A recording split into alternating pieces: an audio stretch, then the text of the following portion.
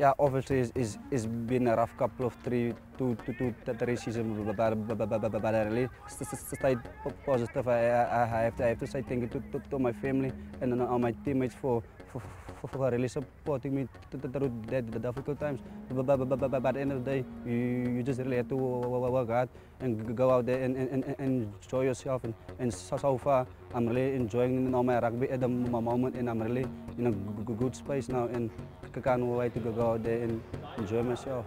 Yeah, I think personally how I see things, if, I, if I'm coming back and I'm injured, I just take it one game at a time. I know what I can do for, for, for the team, but, but I really only focus on, on what I can do now and, and contribute to the team. And then I'll, I'll take it from there. Yeah, obviously this is one of the most important seasons for us as a team, but we really mm. just want to focus one tournament at a time and one game at a time. If we, we can do our processes right, and then the results will, will, will look after itself.